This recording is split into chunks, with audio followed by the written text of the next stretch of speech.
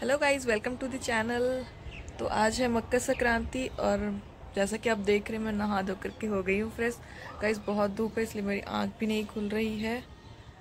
और वो उधर मेरे दोस्त हैं।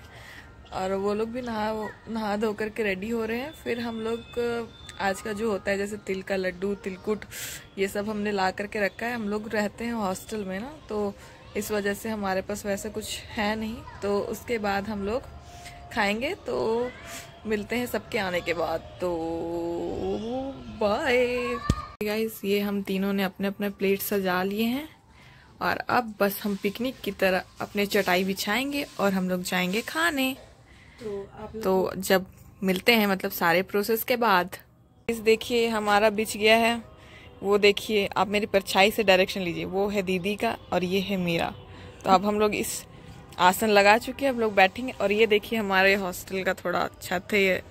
और ये है नज़ारा, और ये है और ये है धूप की किरण, जिसके छाव में हम बैठेंगे। धूप की किरण की छाव में बैठेंगे। बैठते हैं फिर। ये है मेरा प्लेट, और अब हम लोग स्टार्ट करेंगे तिलकुट से। हैप्पी मकर संक्रांति गाइस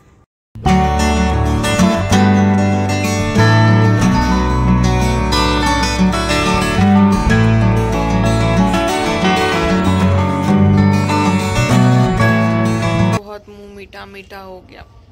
अब तो खाया भी नहीं जा रहा। है